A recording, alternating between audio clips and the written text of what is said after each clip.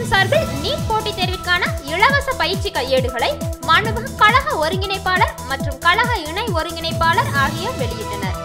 NEET JEE தேர்வுகளுக்கு தயாராகும் மாணவர்கள் அம்மா கல்வியகம் என்ற கீழ்கண்ட இணையதளத்தில் கையேடுகளை பதிவிறக்கம் செய்து கொள்ளலாம்.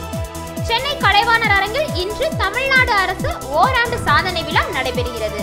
இவ்விழாவில் மாண்புமிகு தமிழக முதல்வர் அவர்கள் தமிழ்நாடு அரசு ஓராண்டு சாதனைகளுக்கான சாதனை விளக்கப்பட பாடல்கள் மற்றும் புகைப்பட தொகுப்புகளை வெளியிடுகிறார். மாண்புமிகு தமிழக துணை முதல்வர் திரு ஓ பன்னீர்செல்வம் அவர்கள் விழா முன்னிலை வகிக்கிறார் Madras school of economics Chennai IIT NABARD வங்கி மற்றும் தமிழ்நாடு நீர் முதலீட்டு நிறுவனம் ஆகியவை இணைந்து நடத்திய நீர் பாதுகாப்பு மாநாட்டினை மாண்புமிகு அமைச்சர்கள் திரு எஸ் பி வேலுமணி மற்றும் திரு டி ஜெயக்குமார் ஆகியோர் தொடங்கி வைத்து உரையாற்றினர். விழாவில் பேசிய மாண்புமிகு அமைச்சர் திரு எஸ் பி வேலுமணி அவர்கள் பேரூர் ஆகிய இடங்களில் கடல் நீரை குடிநீராக்கும் நிலையங்கள் விரைவில் அமைக்கப்பட உள்ளதாக கூறினார்.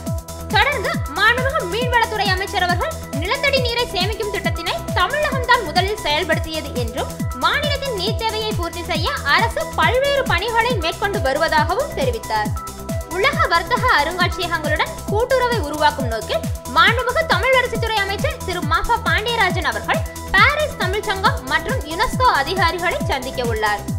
மாண்புமிகு பள்ளிக்கல்வித்துறை அமைச்சர் திரு கே எஸ் செங்கோட்டையன் அவர்கள் அரசு பள்ளிகளில் உணவு மற்றும் கல்வித்தரம் மேம்படுத்துவது குறித்து ஜெனீவாவில் உள்ள ஹார்டா ஃபவுண்டேஷன் மற்றும் பிரின்சஸ் பிரான்சிஸ் பெருசா நிறுவன தலைவர்களுடன் ஆலோசனை நடத்தினார்.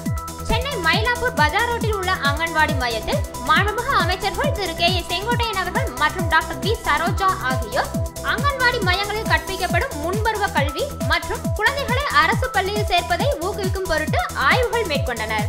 சென்னை தலைமைச் செயலகத்தில் மாண்புமிகு விளையாட்டுத்துறை அமைச்சர் திரு ப. பாலகிருஷ்ண ரெட்டி அவர்களின் தலைமையில் இளைஞர் நலன் மற்றும் விளையாட்டுத்துறை சார்பில் ஆலோசனை கூட்டம் நடைபெற்றது. தேசிய அளவிலான பொதுத் தேர்வுகளுக்கு மாணவர்களை தயார்படுத்த பல்வேறு மாற்றங்கள் கொண்டு வரப்பட்டுள்ளதாகவும் பொதுத் தேர்வு குறித்த மாணவர்களின் அச்சம் மற்றும் மன அழுத்தத்தை போக்க கவுன்சிலிங் அளிக்கப்பட்டு வருவதாகவும் மாணவக பள்ளிக்கல்வித்துறை அமைச்சர் அவர்கள் பேட்டியளித்துள்ளார். காவிரி நடுவர் மன்றம் அமைக்க வலியுறுத்தி தங்கள் பதவியை ராஜினாமா செய்ய தமிழ்